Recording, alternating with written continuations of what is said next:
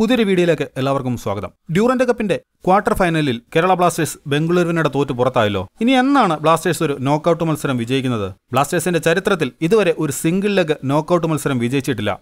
ചരിത്രം നോക്കിയാൽ നമുക്കത് മനസ്സിലാക്കാം. ബ്ലാസ്റ്റേഴ്സ് ആദ്യമായി ഒരു സിംഗിൾ ലെഗ് നോക്കൌട്ട് മത്സരം കളിക്കുന്നത് ആദ്യ സീസണിൽ തന്നെയായിരുന്നു. രണ്ടായിരത്തി പതിനാലിൽ ബ്ലാസ്റ്റേഴ്സ് ഐ എസ് എല്ലിന്റെ ഫൈനലിൽ എ ടി കെയുടെ ഒന്ന് പൂജ്യം എന്ന സ്കോറിന് തോൽക്കുകയായിരുന്നു. പിന്നെ ഒരു നോക്കൌട്ട് മത്സരം കളിക്കുന്നത് രണ്ടായിരത്തി പതിനാറ് ഫൈനലിലാണ് വീണ്ടും എ ടി കെയോട് തോറ്റു പെനാൽറ്റി ഷൂട്ടൌട്ടിൽ. ഐ എസ് എല്ലിൽ പിന്നെ ഒരു നോക്കൌട്ട് കളിക്കുന്നത് രണ്ടായിരത്തി ഇരുപത്തിയൊന്ന് ഇരുപത്തിരണ്ട് സീസണിലാണ്. വീണ്ടും ഫൈനൽ ഹൈദരാബാദിനോട് തോറ്റു വീണ്ടും പെനാൽറ്റി ഷൂട്ടൌട്ടിൽ തന്നെ. ഐ എസ് എല്ലിലെ അടുത്ത നോക്കൌട്ട് മത്സരം രണ്ടായിരത്തി ഇരുപത്തിരണ്ട് ഇരുപത്തിമൂന്ന് സീസണിൽ വിവാദമായ വാക്കൌട്ട് മത്സരത്തിൽ ബംഗളൂരുവിനോട് തോറ്റത് ഒന്ന് പൂജ്യത്തിന്.